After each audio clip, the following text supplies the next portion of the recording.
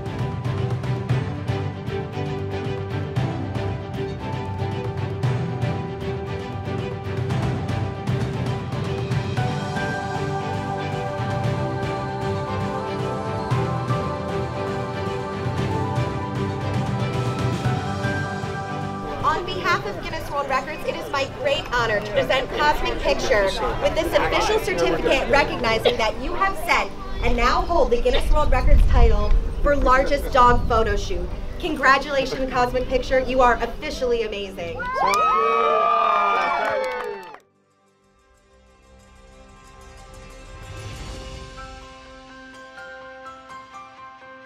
Hi, I'm Dr. Ari Zabel coming to you live from the set of Super Power Dogs.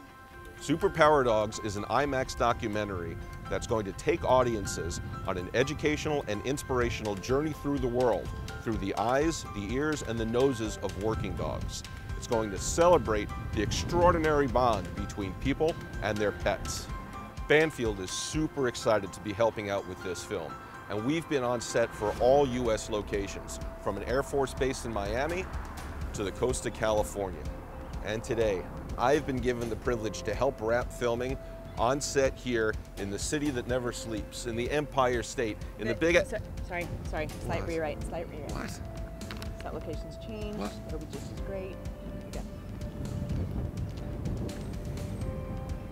Actually, the New York City Sanitation Department is home to the Urban Search and Rescue Canine Training Facility, and we're here to see our superhero dogs get certified as FEMA search and rescue teams. Good luck to our friends Cat and Halo. As the presenting sponsor, Mars Petcare provided five brands, including Banfield, the opportunity to be integrated into the film. Our superhero dogs are going to test on two large rubble piles searching for an unknown number of victims.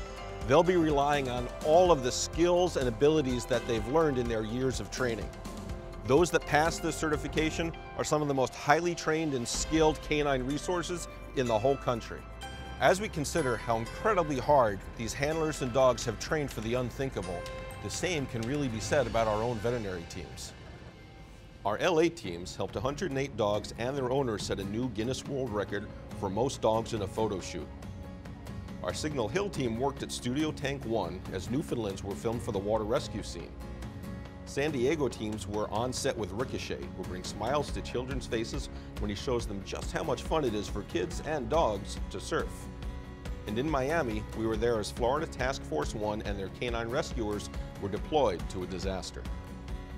Because behind every superpower dog is a superpowered vet, a superpower vet tech, and a whole superpower veterinary team, all dedicated to their safety, health, and happiness, so they can be the best superpower dogs that they can be.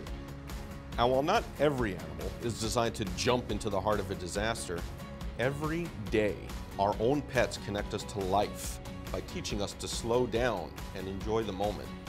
They help us smile after a bad day, provide emotional comfort, and they get us outside to play. Pets make a better world for us. and it's up to us to return that favor.